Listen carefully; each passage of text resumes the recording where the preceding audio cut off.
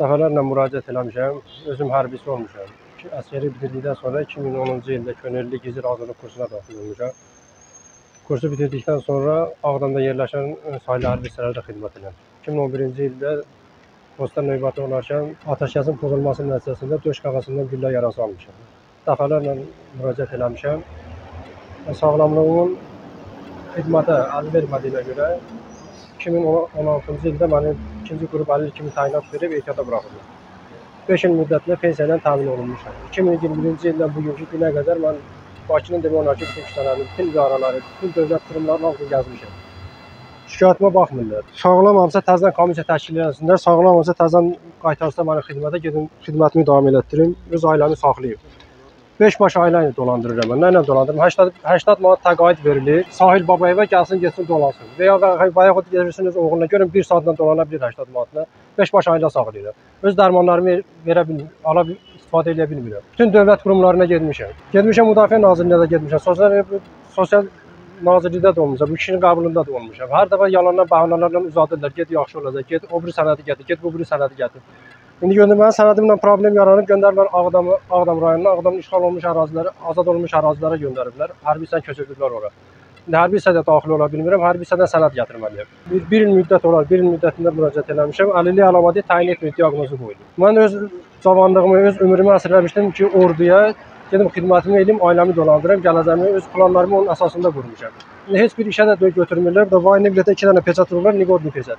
Heç bir dövlət işinə də girə bilmirəm. Və Sağlamlığım da imkan vermir. Burada aktlarla da qeyd olunub da, sənədləri göstərə bilərəm burada. Biraz əsəbləşirəm, həyəcanlanıram ki, qıc olma keçirdirəm. Psixoteriyada da neçə dəfə yatmışam. Havalında da neçə dəfə yatmışam. Öz rayonumuzda neçə dəfə yatmışam. Xarici ölkələrdə gəlmişəm, İranda özüm müalicə eləmişəm. Ciyərimə su yığılmışdı. Döş qavasının sol yarısının dəri keçən güllə yaralanması, ürəyin əzilməsi, ağciyərin əzilməsi ilə müşahidə olunan dəri keçən güllə yaralanması. Necə sağlam ola bilərəm mən?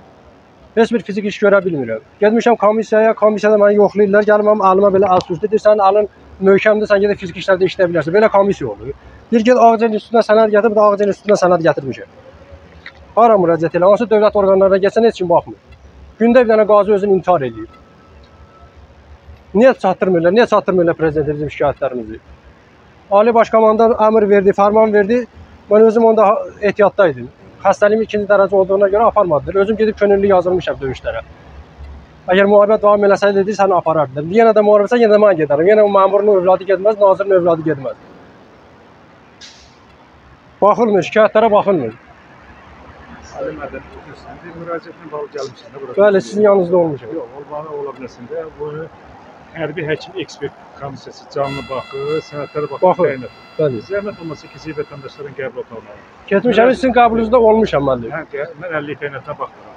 Hə, siz rəhbər şəxslərlə görüşün təşkil edin. Min cürə bəhanə gətirirlər. Keçən müraciətin araşdırılsın, çıxandan sonra müsahibə verərsən. Problemin olduğu deyilir yoksa Hə- Hər dəfə bir dənə bəhanə gətirirlər mənə. Bir əlillik əlaməti təyin etmir. Əlillik əlaməti təyin etmir, yaxşı mən razıyam. Nə dövlətin pensiyasını istəyirəm, hava pensiyasını, nə onun maşınını istəyirəm, nə onun evini istəyirəm. Mən də bu Azərbaycan Respublikasının vətəndaşıyam. Düzdür, dövləti qorumaq mənim borcumdur. Gedib borcumu yerinə yetirmişəm. Canımı vermişəm. İndi dövlət orqanlarının da canı çıxsın, mənim pensiyamı təyin eləsinlər.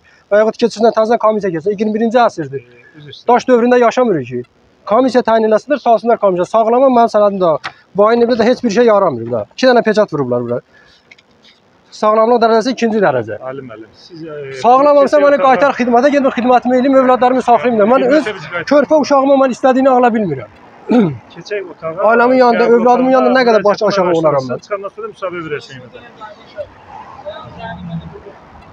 Buyur, buyur keçək otağa. Xidməti dövründə də dəfələrlə qiymətli hədiyyələrlə də təltif olunmuşam. Fəxri fərmanlarla da təqdim olunmuşam, heç bir şey. Heç nəyə baxmırlar. Medalla da təltif olunmuşam. Prezidentin adından, bu da alar.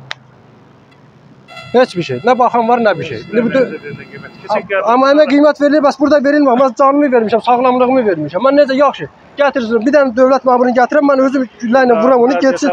Qaba döş qavasından güllə yarası dərsə kürayindən çıxsın, sonra deyirsən sağlamsan get.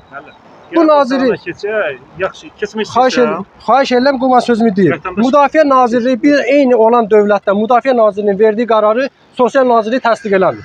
Amma bu sənədləri deyir Sosial Nazirliyin nazir gedir məruzə edir prezident deyir neçə 100 min nəfərin saxta əlilliyin kəsiblər. Yaxşı, saxta əlillik mən saxta oldum. Ordu saxta oldu, komissiya saxta oldu.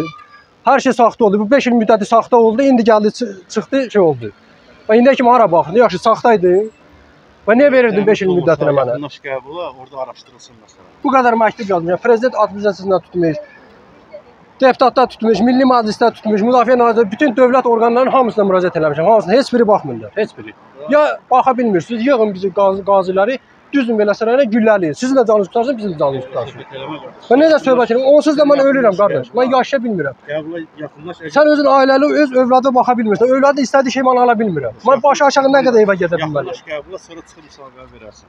Yaxınlaşın qəbula. Qəbulda deyirəm də bu kişinin qəbulunda olmuşam. Lazım şəxslərə qəbul Lazım şəxslər qəbul edilir. Gəl içəri. Gəl keç zəhmət olmasa, çıxandan sonra müsahibəyə verərsən. Qəbulda bəli onlayn nazirin müavininin qəbulunda olmuşam. Onu amma Əllərin Bərpa Müalicəsi Mərkəzində mən onlayn qəbul ediblər.